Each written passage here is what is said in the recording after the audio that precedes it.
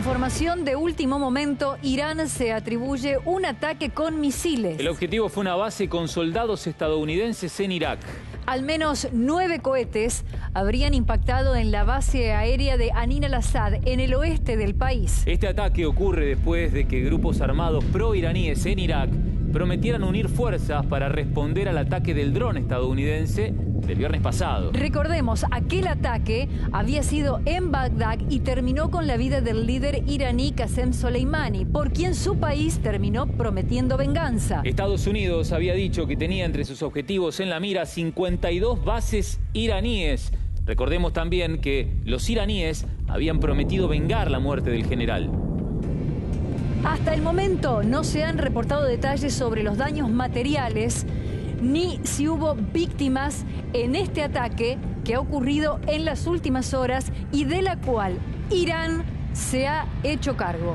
La Guardia Revolucionaria de Irán confirmó entonces la autoría de un ataque con al menos una decena de misiles. Esta es información que también está dando vuelta al mundo en esta base aérea que alberga fuerzas estadounidenses. Noticia de último momento, noticia en desarrollo que habla sobre la escalada de este conflicto a nivel mundial. En horas de la tarde el ejército aéreo, la Fuerza Aérea Norteamericana, había desplegado todo su poderío en una impresionante exhibición como consecuencia de las amenazas cruzadas que se habían generado entre ambos estados, el islámico, el iraní y el americano, desde los Estados Unidos.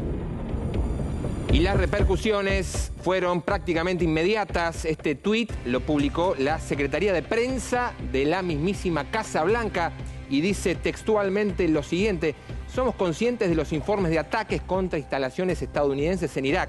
El presidente ha sido informado y está monitoreando la situación de cerca y consultando permanentemente a su equipo de seguridad nacional. Reiteramos, es un tuit que acaba de ser publicado por la Secretaría de Prensa de la Casa Blanca en Washington respecto de lo que está ocurriendo con este ataque iraní a una base estadounidense. La situación de tensión internacional en las últimas horas también tuvo repercusiones en la República Argentina.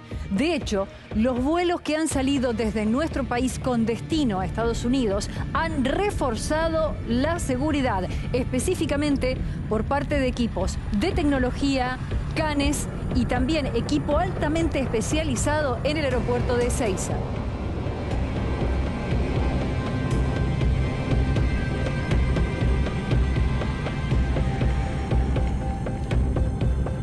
Vamos a ampliar esta información que está en desarrollo, todo lo que llega desde Medio Oriente, la preocupación internacional con las consecuencias en nuestro país.